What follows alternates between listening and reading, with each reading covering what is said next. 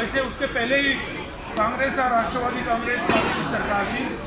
तब भी 16 परसेंट आरक्षण मराठा समाज को दिया जाए अलग से ओबीसी को क्षति नहीं पहुंचाते हुए उनके उनके जो आरक्षण के जो 30 परसेंट जो है वो कायम रखते हुए। मगर उसमें कुछ त्रुटियाँ थी तो फिर से जो है कानून बनाया गया। और सबने जो कानून बनना बन, बनने के बाद वो फिर से हाईकोर्ट में लोग गए।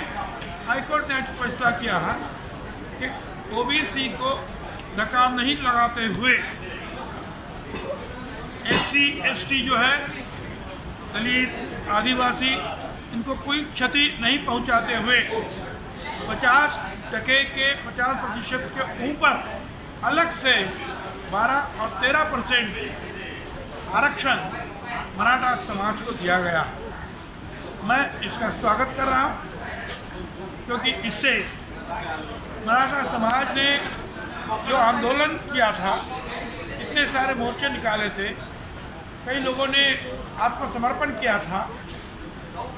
आज इसमें एक अच्छा निर्णय, जो है कानून, वो हाईकोर्ट ने मंजूर कर दिया है, और सबको मराठा समाज को बड़ी राहत दी है।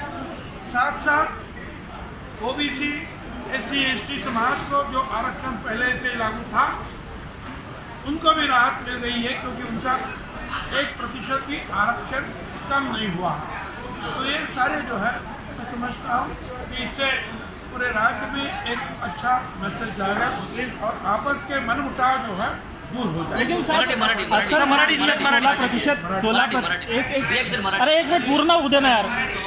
असल डिमांड जो थी 16 प्रतिशत आरक्षण की थी 12 से 13 प्रतिशत आरक्षण की बात कोर्ट ने कही है। तीन परसेंट का डिफरेंस कोर्ट का जो आरक्षण जो कोर्ट ने ये इसलिए कहा जो गायकवाड़ आयोग था उन्होंने कहा था कि शिक्षा में 12 परसेंट और नौकरियों में 13 परसेंट आरक्षण दिया जाए। उसको उन्होंने जो है अपहरण किया है और वो निर्णय किया